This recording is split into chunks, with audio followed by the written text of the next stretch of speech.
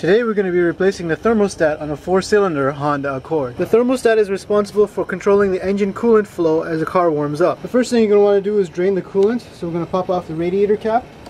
Caution, never work on your cooling system when the radiator is hot. And then you're going to come underneath the vehicle where this drain port is and position your drain pan underneath. And then we're going to go down to the bottom of the radiator here where this petcock valve is and loosen it and the coolant will start to drain out.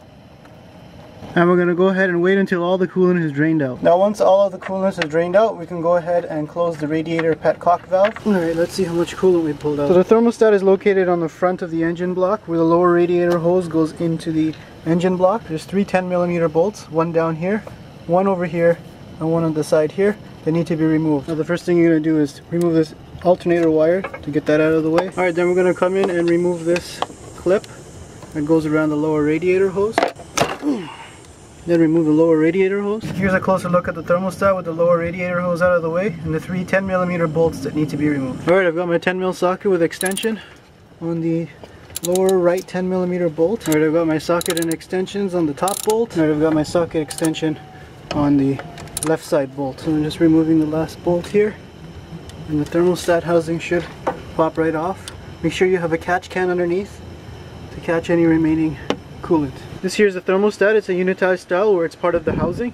If you look down inside of here, you can see the jiggle valve. It's also got a gasket here that should be replaced. I bought one from Fel-Pro, but it's not the right one, so I'm gonna have to reuse my old one. And this here is where the thermostat sits on the engine block. You can see the three bolts there. Before reinstalling the gasket, you're gonna wanna use a cloth with a little bit of brake cleaner on it to make sure that the mounting surface is nice and clean and it's gonna seal properly. Next, I'm gonna go ahead and replace the thermostat into the engine block.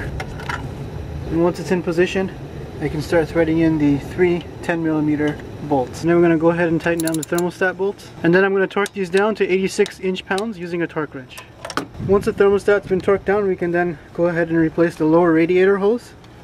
And then replace this safety clip here. Don't forget to plug in the alternator plug. And then we're going to refill the radiator with a 50-50 mixture of antifreeze and water. Don't forget to refill the overflow reservoir. Alright, with the coolant refilled, we're going to go ahead and start the engine. Alright, we're going to let the vehicle warm up for a couple of minutes. You might see some air bubbles popping through the radiator. That indicates that the system is self-bleeding as there's no pressure on it without a radiator cap. And then we're going to check near the thermostat area to make sure that there's no leaks coming from the thermostat housing. So we're going to idle the vehicle until it reaches operating temperature. We're going to turn the heater over to the hot side and then turn the fan to the highest temperature. You're going to want to keep the radiator cap off to bleed the coolant until there's no more bubbles coming through and the radiator fans have turned on. Finally, we're going to double check the level of the engine coolant and then take the vehicle for a test drive.